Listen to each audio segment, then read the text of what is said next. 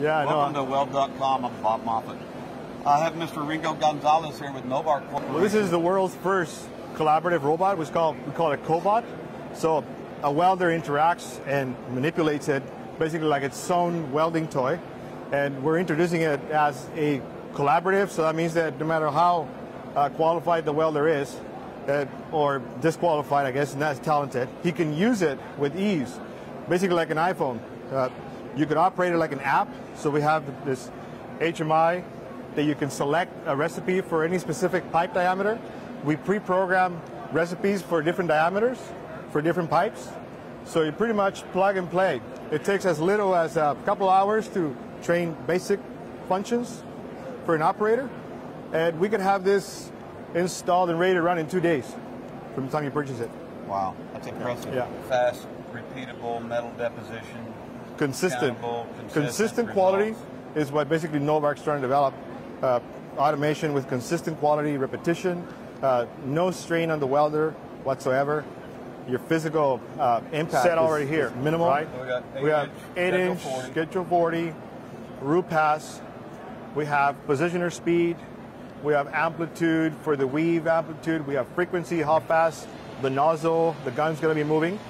Uh, we have our parameters from weld mode. This is the program we're using, 309 non-synergic STT. In this case, STT non-synergic. Wire feed speed. We have peak amperage and background amperage. So the pipe is positioned to weld in the 1G, and the gun right now is around 1 o'clock.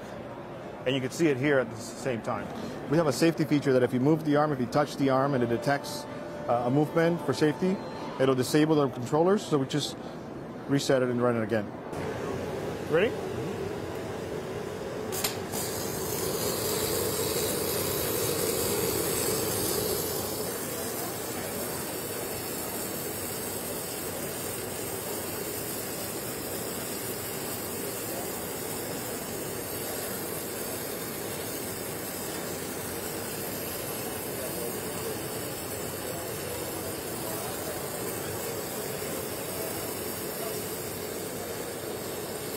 Ringo, this thing welds about as good as I do.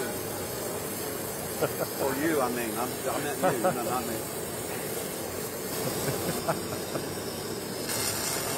That's pretty cool. Right there, it just switched programs by itself.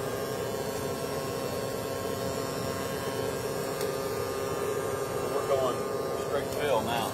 Straight fill. We're never, we're not stopping. We're not doing. We're not stopping. It switches program.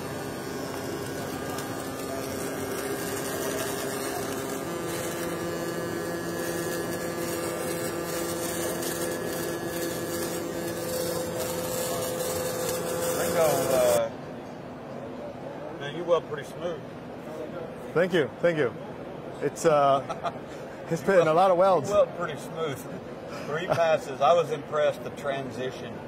Uh, Right. I've looked inside here on the root. I believe we've got some B-roll going in here, but that Right. transition and that blend, that repeatable amount of reinforcement, fill, uh, deposition. You know, I'm watching this thing under the shield as it went through the, the, the cycle, we went directly into the fill pass. Wow, that was, uh, I mean, that's just, that's cool. So we could, uh, you know, we could just turn out 100% X-ray quality work, just bang, bang, bang, repeatable. Absolutely. Plus, you have all of the accountability features. We were talking about saving file systems. It stores all the data, so all the video that's being recorded is stored away. So you can come back and pull that file five years from now if you want to. That's a really nice thing about the quality control aspect of this feature, right? That is some impressive stuff. Really appreciate your time. Very nice product. You're very welcome. Yeah. Bob Moffett with Weld.com, FabTech Chicago 2017.